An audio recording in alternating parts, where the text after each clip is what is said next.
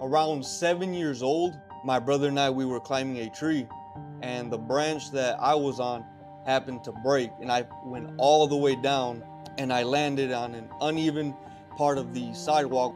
I was stunned. I just laid there, laid there, and my brother went to get my mom, and I laid down on the couch, and my mom was on the phone. I was just staring at the ceiling, and every few seconds, you know, my body would tense up and shake. Just thinking, I'm like, should I tell my mom? Should I? I'm like, but she's on the phone. I'm like, I'll wait till she she gets off the phone.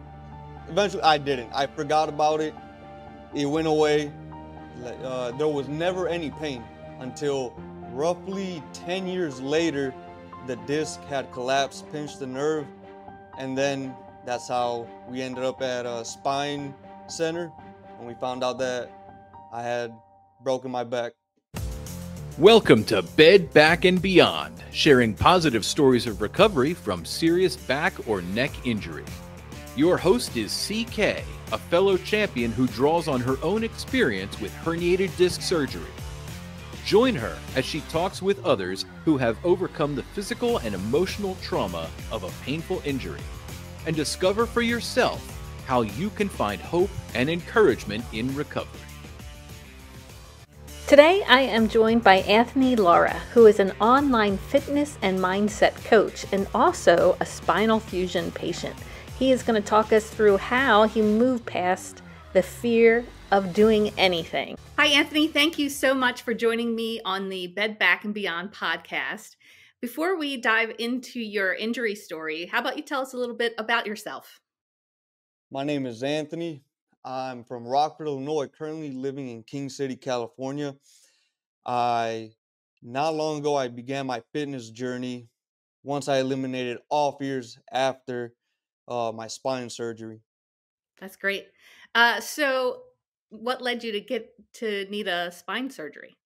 Uh, around seven years old, my brother and I we were climbing a tree, and the branch that I was on happened to break and I went all the way down and I landed on an uneven part of the sidewalk where the roots of the tree had ruined it.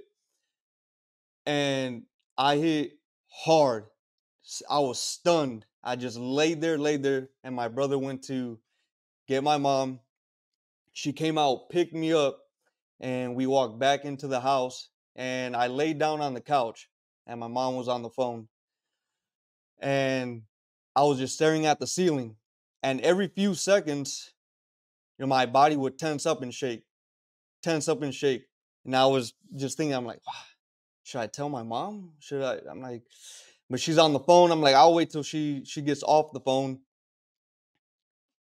Eventually, I didn't. I forgot about it. It went away, and then I went. Uh, there was never any pain, never any pain until roughly 10 years later, the disc had collapsed, pinched the nerve, and then uh, that's how we ended up at a spine center, and we found out that I had broken my back. You yeah. broke your back at seven years old.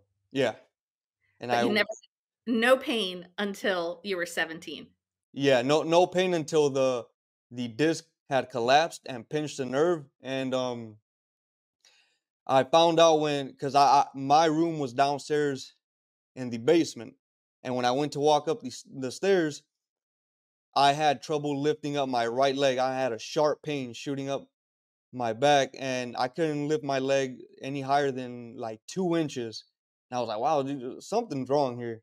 So that's uh when I told my my mom and I'm like, hey mom, there, there's like a big bump like right on my spine. Well, it turned out to be my the L5 pushing up against yeah, the skin. Oh wow. Yeah. Holy cow. So you couldn't lift up your leg. What other symptoms did you have? Uh just I mean, that was really just about it. No pain uh, unless when I just when I moved the leg, there was a sharp little pain. That mm-hmm. that was it. Okay. So did you go to the emergency room or did you kind of try and uh, see if the pain would go away on its own? No. Uh, as soon as I felt the pain, I told my mom, and, we're like, and she's like, "Oh, you know, we'll, we'll make an appointment just to be safe because I don't know what that what that bump is on on your spine." I'm like, okay, just kept going, kept going, and then the the doctor's like, "I don't see anything wrong here. Like, but I'll send the X-rays out to a specialist, and we'll find and we'll see." And I was in the middle of class when I got called to the principal's office and they're like, "Hey, your mom's coming to pick you up." And I just sat there. I'm like, I'm like, huh. I'm like, my mom would have told me if, you know, this morning if she was gonna pick me up. I don't have an appointment or anything. So she picked me up.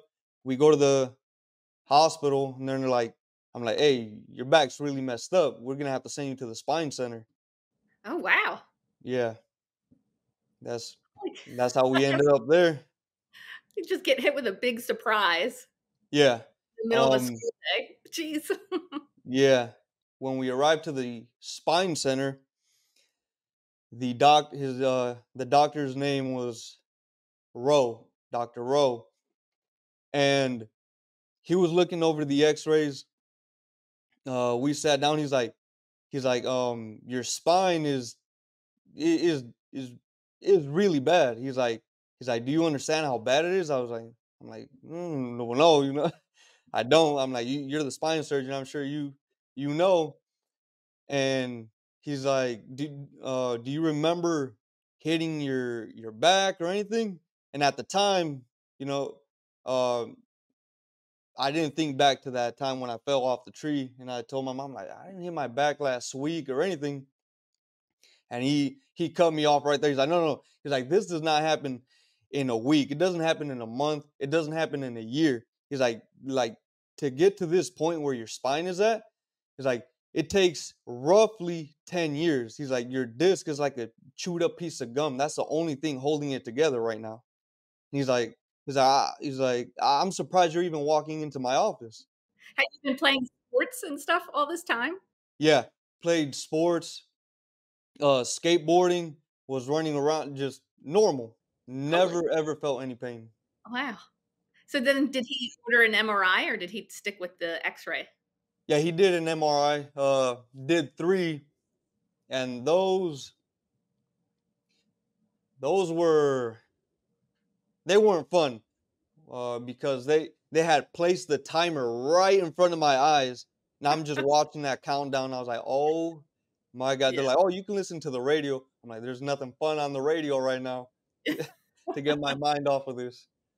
Yeah. Uh, I panicked the the first time I did a, a regular MRI. I panicked because you know the MRI is like right here, the machine, and they had to pull me out and then put me back in. Oh, I can't man, imagine. Yeah. yeah, man. Yeah. So sometimes I think back, I'm like, man, how did I ever get through that year long recovery? Like, gone through all that. I'm like, but we're here now. Yeah, so the doctor orders an MRI. He tells you you shouldn't even be walking. yeah. And was he like spinal fusion or did he say we need to do some other treatments first? No, um so right after he said um you know takes like 10 years my mom had asked him um she's like uh what are the like do we have any options? Like what are they? And he had said like at this point is is surgery. He's like um he's already having trouble like using his right leg.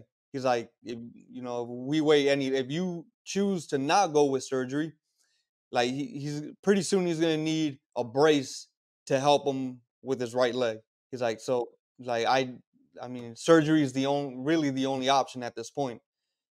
and so surgery it was You go? Did you go straight to spinal fusion surgery? No. Um, this was at the end of the uh, two months before the school year had ended. So my mom had asked, me like, can we wait like until you know he finishes school so the surgery and recovery is like you know during break so he doesn't have to miss school. The doctor's like, yeah, that that's fine, but you know, uh, we're gonna have to throw him into some like get, get some cortisone shots, like to help him like uh, ease the pain. And yeah, just finished the last two months of school, and within a couple days, I was getting prepped for surgery. Oh my goodness. Yeah, Was that the end of your 11th grade or 12th grade? eleventh. 11th grade. So Yeah. 17 years old, Yeah, just finishing 11th grade, yeah, and now you need to get back surgery. yeah. What was going through your mind? Do you remember? Uh, yeah. Uh, because the well, the only thing that was going through my mind, the doc, the surgeon was like, when you wake up, it's gonna uh, it's gonna feel like you were hit by a truck. Like your chest is gonna hurt so bad. It's like it's it's gonna feel like you were hit by a truck, and that's the only thing that was going. Through. I'm like, damn. When I wake up, I ain't I am going to be in a world of pain. I'm like, I'm like, all right, we'll we'll, we'll get through it. We'll get through it. That that's really the only thing that was going through my mind. So did they have to go through the front and the back to do your surgery? Uh, through the back. Just through the back. Yeah, Okay. Yeah. They had to do through the back spine fusion with a complete disc replacement. So, yep. How long ago was it? How old are you now? Ri- right now I'm 31 years old. So Oh, are you? yeah, it, it's been a minute. Yeah. Yeah, I mean, so far so good. It ain't. Yeah. There's no pains. Only in my fitness journey, only when I do anything that that involves more engagement of the lower back Mhm. with loaded weight, then I will be feeling it the following day. Yeah. Yeah. So if you can remember, uh, you had the spinal fusion. How long did you have to stay in the hospital once the surgery was done? I was there for for a few weeks, just until uh, I was able to walk again. But a- after that, uh, it was all up to me to just keep my back as straight as possible for a year. Yeah. So yeah, I had a, uh, for a whole year. I was walking like like a robot and sleeping like Dracula. Did they have you in a brace or anything to help keep straight? No, but I um I did hear that they they they gave you know usually they give out braces, but they haven't that they didn't give me one. So yeah, I was just strict, like following exactly what the doctor had said because he had said if it does not fuse correctly, we'll have to break it and do it again. Oh my goodness. Yeah. That doctor, that doctor is all about scaring you, I feel like. yeah so so that that helped a lot you know because 17 years old i'm like man i want to run i want to play sports again so i was like you know what i'm just gonna run i'm gonna do it i'm like nah anthony you're you're you're you're four months in like you, you you're good just keep going if not they're gonna have to do surgery again you don't want to go through that again just stick to what the doctor said like you, you'll go by quick So were you living on hospital food for a couple weeks or was your mom bringing you in dinners? No, I was living on hospital food, and you know, like they say, it's not good, it's not fun. And then I was like, man, I am tired of this. And my father, my dad, had, he, he had shown up, peeks in, he's like, hey, you awake? I'm like, yeah. And then bam, he brings in some McDonald's. I'm like, oh, finally. I'm like, thank you. Dad." the ultimate comfort food. yeah. I was like, oh, I was like, I'm like, thank God, I'm a, I am going to eat. so um after you're you're in the hospital for a couple weeks, did they send you to a physical therapy uh session? Yeah, they they did. I did therapy for for roughly about a few a couple months. It was a couple months, but you know they give you homework to do at home. Do your stretches, and they want to see you progress every time you go in, like how much you had progressed. Um, and if they see, they're like, "Hey, are, it's looking like you're afraid to move your spine to bend stuff," and then they they you know they add some force to it.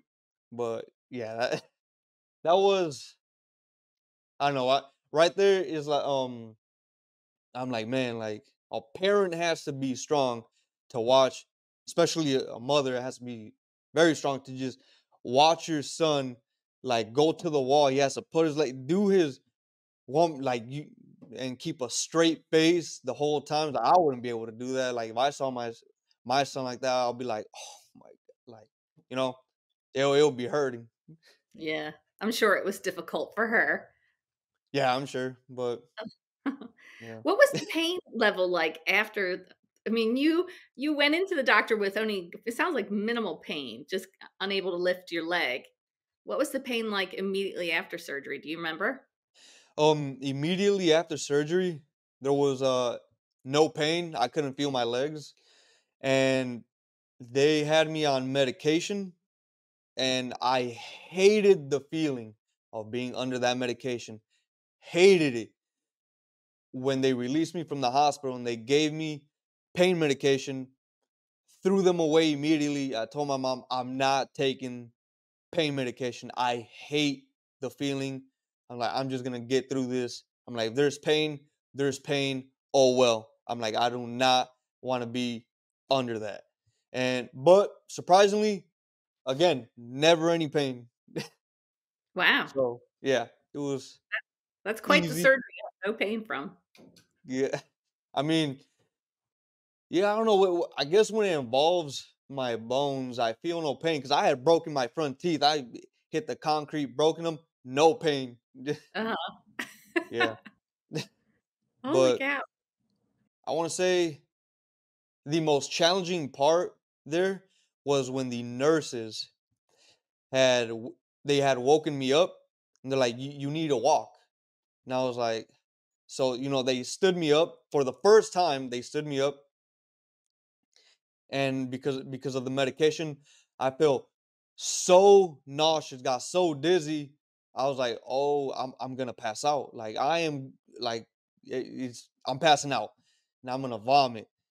And i was like i had told the nurse i'm like i i need to lay back down. And then she's like no no you, you need to walk. Like you, you need to start moving your legs.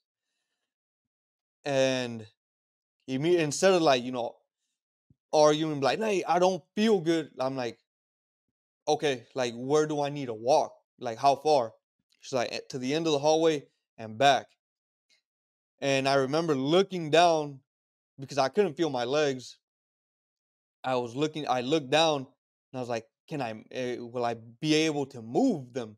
And i and i moved them but an inch at a time and i remember i was like okay i, I can move them. But the rest of the walk i was just fighting the urge to vomit or to pass out i was like oh my god like I, like this is it i'm gonna pass out. And i was like no An- anthony you're, you're not gonna pass out you're almost there you're you're almost there. All you have to do is get to that wall get back and you can lay back down do not pass out. And i'm like you're not passing out you're not passing out. Like yeah that that one was probably the most challenging part about it. So how long did they tell you you could get back to playing sports after the surgery? after surgery, they told me around 10 months, but I had to do therapy and checkups to make sure it was fusing correctly, everything was still straight. After like the eighth month, like, hey, everything's looking good. Like, but we'll wait a little bit longer, and then you can, you know, you can get back to doing whatever it is you want. Run, play, like you can play football, like no problem. You'll be good again. And be, i'm like, man, like, and I remember thinking, I'm like, okay, two months, just two months left. That's it. Like this year is almost over. But yeah, but since I uh wanted to play sports, I mean,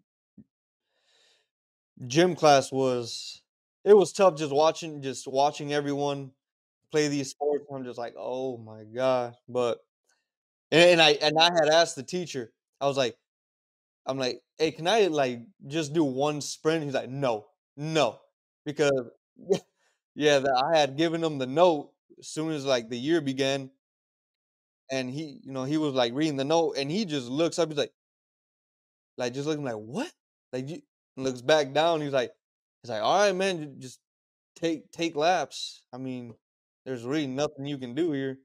I mean, yeah, I was um the doctor had limited me to five pounds max. That's what I could lift up maximum for a year. So a gallon of milk. Yeah. I was like, all right. Were you able to start school in time in uh, for your 12th year or did you have to delay going back to school? No, I was able to I was able to start on time, but I would leave class earlier to make it on time to my classes because I, you know, I, I was still working on my speed, walking, my legs, but and on top of that, uh, those big textbooks they give you a backpack full, I couldn't carry it, so someone had to help me out with that. Yeah. Did you have a lot of volunteers offering to help you uh, leave class early? oh yeah, definitely. Like, hey, you, are you gonna need help today? I was like, yeah, man, yeah, help me out. How was how was sitting in a chair for class? Eh. That everyone would would ask like, what are you doing? Because I like walk straight, stiff, and when I turn around, I turn around stiff, sat down straight, grabbed onto the desk, then completely turned around. They're like, "What? Why do you do that?" And uh, you know, I would just I would just sit straight as possible on a hard chair, and I was like, "Man, I broke my spine, and these are I have to follow the doctor's uh, rules." I was like, so I mean, sitting at those desks like that for a year, it was not fun. it was not comfortable at all. But you got through it. Yeah, we got through it. We're here. We're yeah. a lot better. So once you were allowed to start moving normally again, had your back muscles just gotten so weak at that point? Or did physical therapy kind of help keep them strong? Um they they weakened but they would tense up and I would need to keep doing stretches uh or else I'll feel a, a slight pain, slight pain uh, if I did not do my stretches. So I had to keep up with my stretches to eliminate that pain.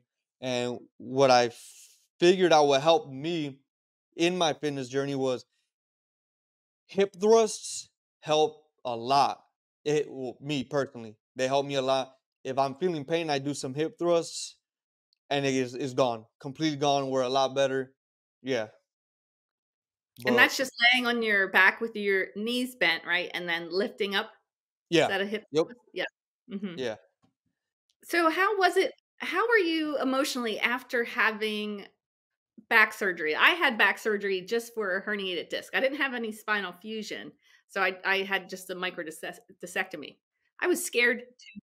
I was scared to move for an entire year after surgery because I didn't want to reherniate.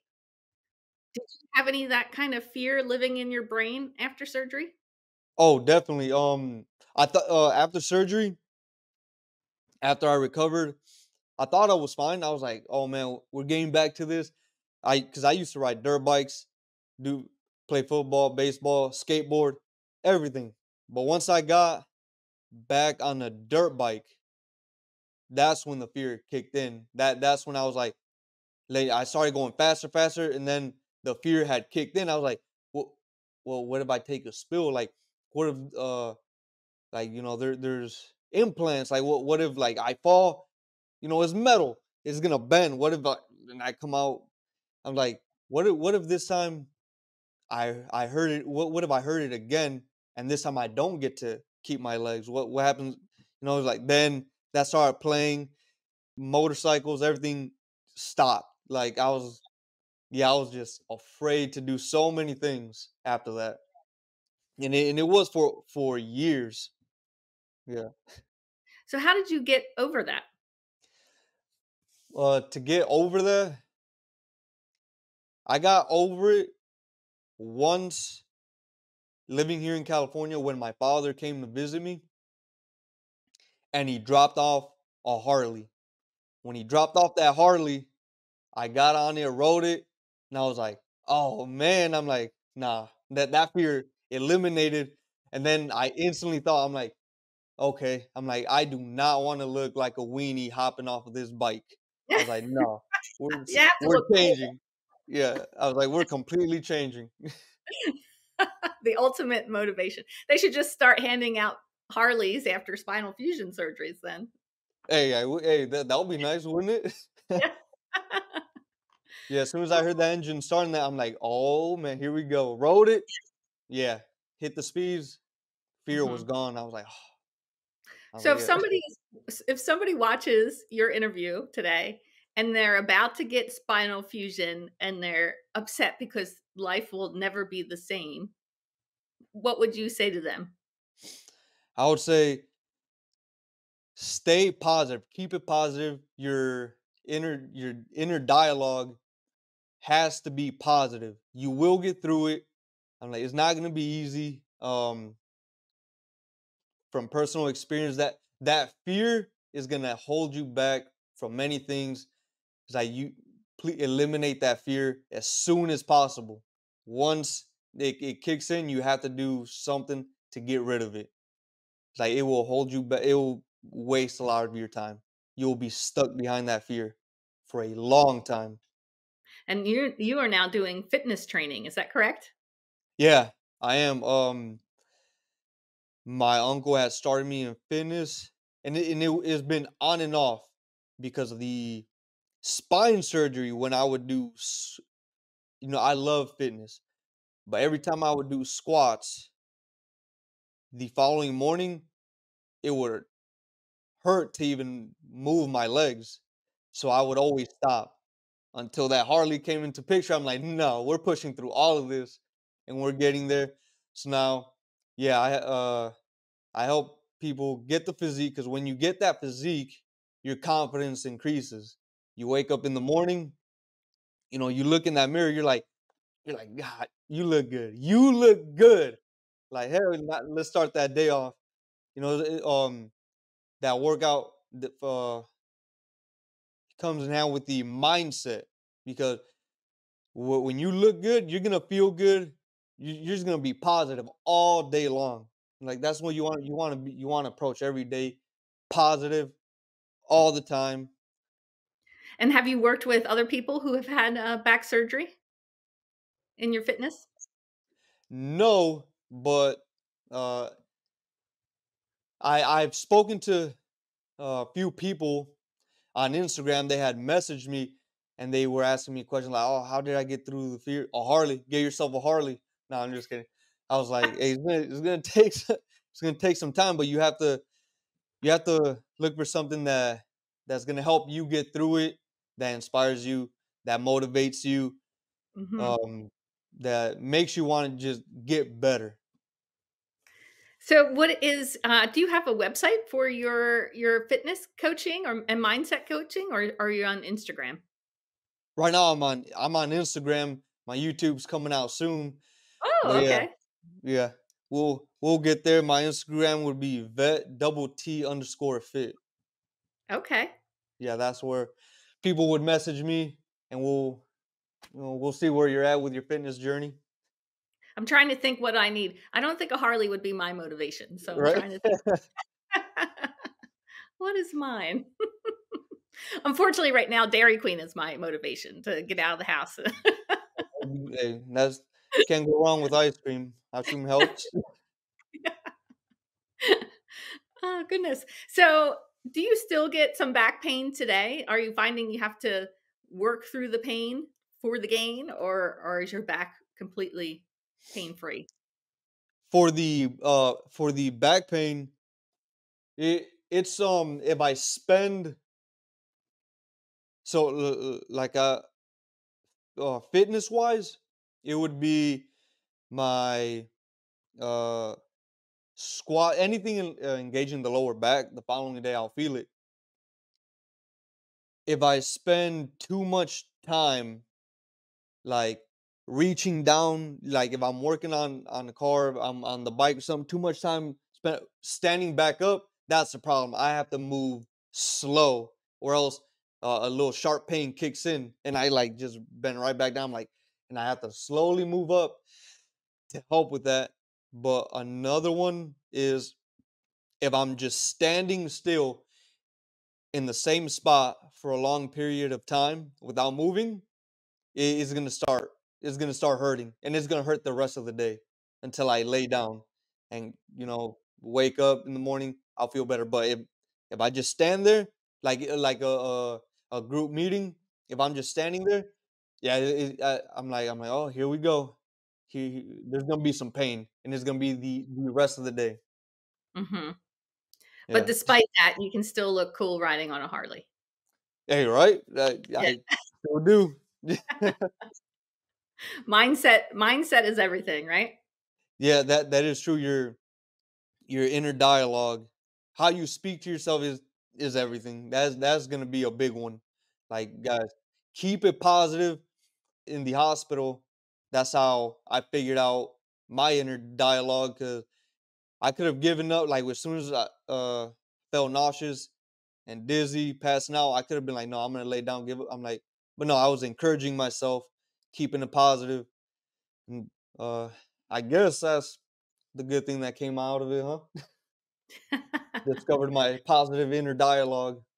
Yeah, definitely. At 17 years old, that's a, a, great lesson. I mean, it stinks that you had to have back surgery at 17, but to learn such a great lesson at 17 to carry you on through to now. Yeah, um yeah, I, after that surgery, I I also I also spent ye- like a long time hating that moment, thinking why why did it ever have to happen? I wish it didn't. You know, at the time we we don't know why that happens. Later on, we you know we we you know we, we get our definition why it happens, our, understanding, but that is unique to my path. You know, like hey, to discover your your positive inner dialogue. Sorry, but this is what had to happen to you. It's like that was just part of my path. Yeah, yeah. I often try to encourage people. Like I know this moment is hard because uh, I'm in a herniated disc group on Reddit. Um, so I know this moment is hard, but you have to know that once you're out of it, you you're gonna yeah. find the good that comes from it. You have to believe that. Yeah. Also, what when you're going through the recovery, you, you you have to look for something that's going to help help help you, because it, it it'll get dark at times. It will, but you have to you have to find something that's gonna just get you out of that. Uh, for me, it was a and it, it I, I spent long nights just laying there, like in a dark place until 2 a.m. when an anime, the anime Inuyasha would come on, and what would help me was the end credit song, uh, Fukai Mori. Like that would help. That would get me back to a positive state, and I'm like, okay, let's go to sleep. But that, for some reason, that that helped me a lot, and I was like, but yeah, when you're going through through the recovery process and it gets dark, just find something that's gonna help you through those moments. Yeah. Yeah, mine was Star Trek. yeah. Star Trek, Star Surprise. Wars. Yeah. Oh, Anthony, I appreciate you so much coming on and sharing your uh your spinal fusion journey at such a young age. Tell me again, what is your Instagram handle? Uh, vet two T's underscore fit. Great. I'm going to put that on the screen and I'll include it in the uh, the podcast description. If you are a listener and you have a positive story of recovery from a serious back or neck injury and you would like to include your voice on the show, head over to bedbackbeyond.com and click share your story. Once again, Anthony, thank you so much. You're a great encouragement to those who are facing one of the most fearful surgeries probably in their history. Hey, thank you. Appreciate being on here. Um, yeah, it, it's scary, but you guys will get through it. Just keep it positive.